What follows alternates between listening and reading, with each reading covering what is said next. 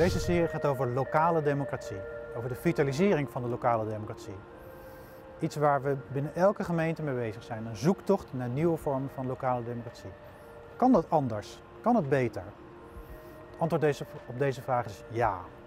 Experimenten van gemeentes en experimenten van bewoners hebben we bekeken.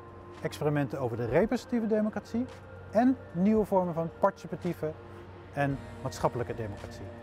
De lessen uit deze experimenten wil ik graag delen.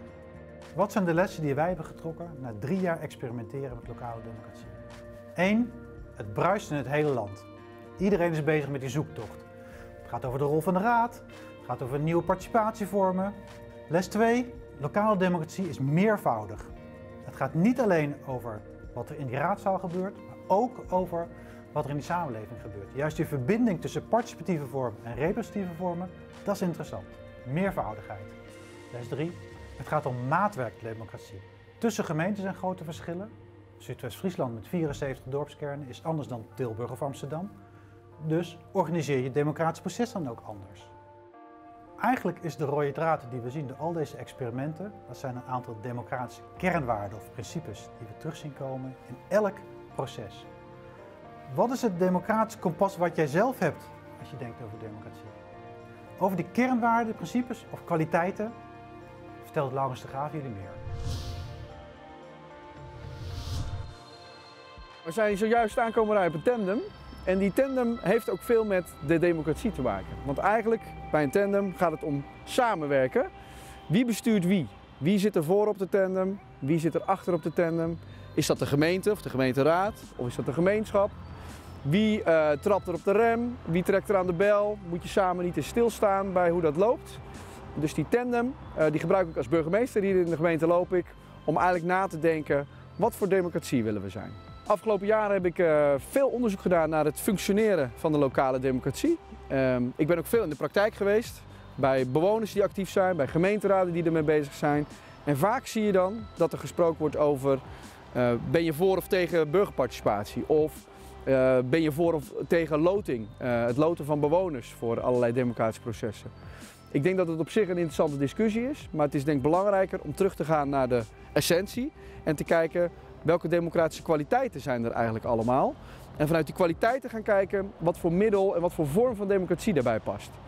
En die kwaliteiten, daar hebben we er vijf van ontdekt, uh, die we eigenlijk deels uit de wetenschappelijke literatuur halen, maar ook getoetst hebben in de praktijk met allerlei voorbeelden en, uh, en uh, case studies, zoals dat dan heet. En die hebben we eens toegepast en gekeken, wat kun je, hoe kun je de lokale democratie versterken. De eerste kwaliteit is inclusie. En bij inclusie gaat het eigenlijk om twee dingen. hoe is de toegankelijkheid van de democratie? Dus wie kunnen er allemaal meedoen? En worden er barrières opgeworpen om mee te doen aan de democratie? Denk bijvoorbeeld bij verkiezingen aan een opkomstdrempel of aan een leeftijdsgrens om mee te mogen doen aan verkiezingen. Het tweede element is uitnodiging.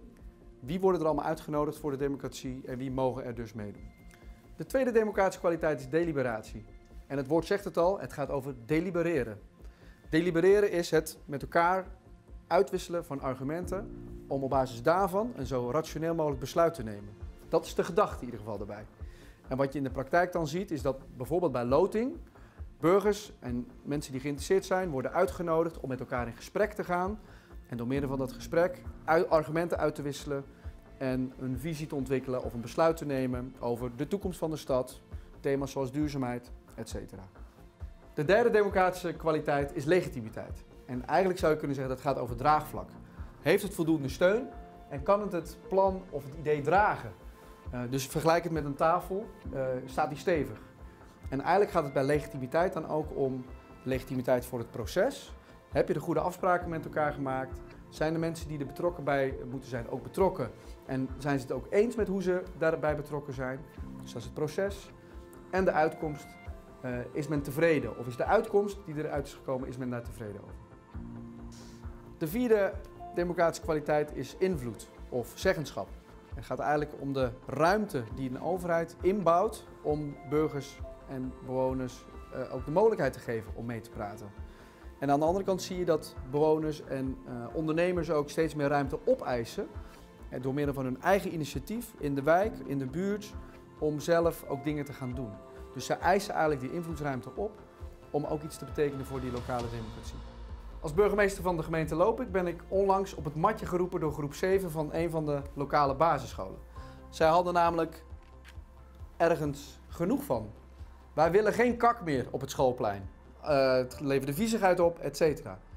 Heel goed dat uh, jongeren dat doen. Uh, dat is eigenlijk een uiting ook van burgerschap.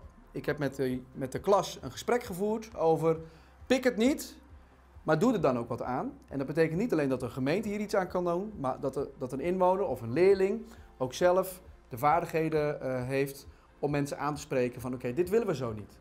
En dat is eigenlijk ook dus de vijfde democratische kwaliteit. Burgerlijke vaardigheden en deugden, verantwoordelijkheid nemen, je betrokken voelen bij je omgeving en vanuit die houding iets eraan willen doen. Het is dus belangrijk om als gemeenteraad te redeneren vanuit die democratische waarden. En een gemeenteraad heeft twee hoedanigheden. Aan de ene kant is de gemeenteraad een politieke arena, zoals we dat hier zien. Politieke fracties zijn met elkaar in gesprek over hun idealen en hun politieke voorkeuren.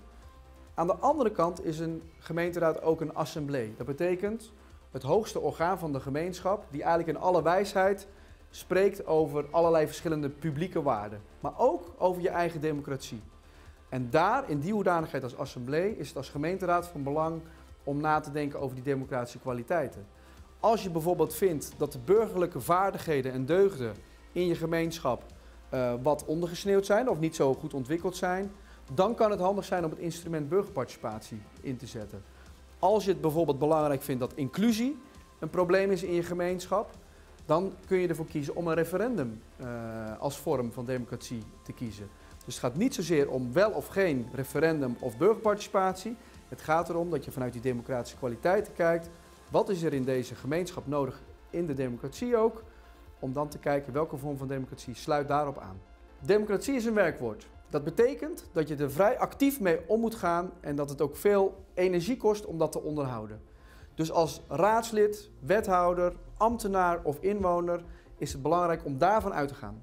Blijf eraan werken, aan de slag ermee. De democratische kwaliteit of de democratische kernwaarden vormen de rode draad in eh, deze serie. En het gaat niet alleen maar over het democratische systeem, maar ook over een democratische werkwijze, een democratische houding. Hoe democratisch ben je zelf? Heb je een democratisch kompas in je hoofd op basis waarvan je verschillende afwegingen maakt? Maar ook de vraag, hoe democratisch is dat systeem? Hoe democratisch is de gemeente of jouw gemeente? Voorbeelden uit het hele land kan je zien in de rest van deze serie.